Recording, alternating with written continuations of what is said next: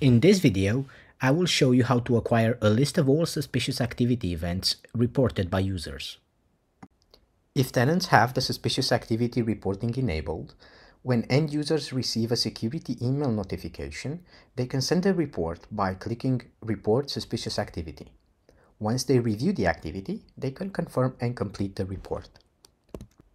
To find such events in the system log, sign into your Okta admin panel, navigate to Reports, System Log. In the search field, use the following query.